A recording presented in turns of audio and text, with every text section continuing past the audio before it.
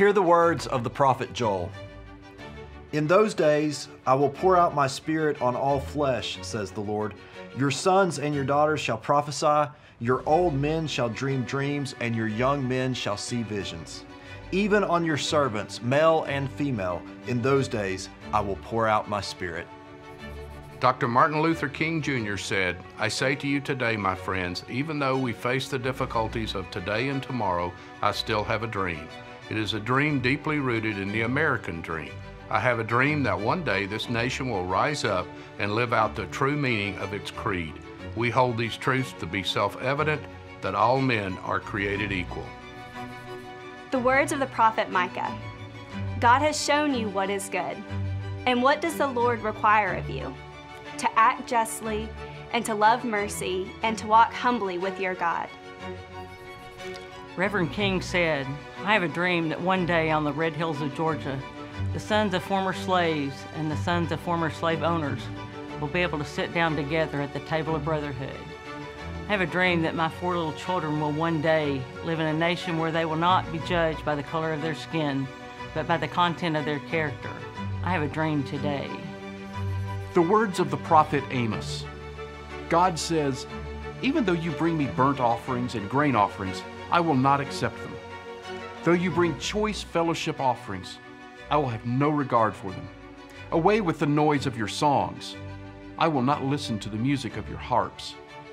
But let justice roll down like waters, and righteousness like an ever flowing stream. Reverend King said, I have a dream that one day little black boys and black girls will be able to join hands with little white boys and white girls as sisters and brothers. I have a dream today. The prophet Isaiah dreamed, and Dr. King quoted it One day every valley shall be exalted, every hill and mountain shall be made low. The rough places will be made plain, and the crooked places will be made straight. And the glory of the Lord shall be revealed, and all flesh shall see it together.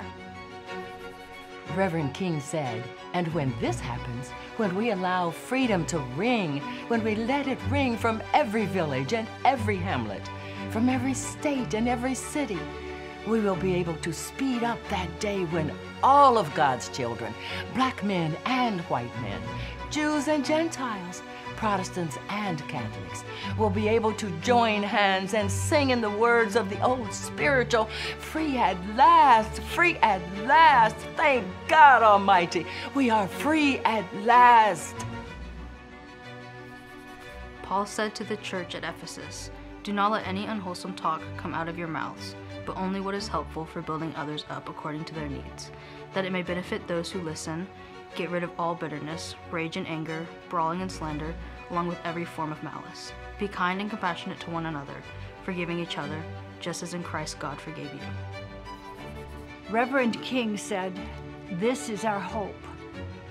With this faith, we will be able to hew out of the mountain of despair a stone of hope.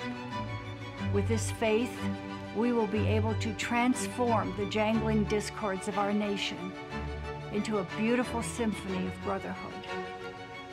With this faith, we will be able to work together, to pray together, to struggle together, to go to jail together, to stand up for freedom together, knowing that one day we will be free.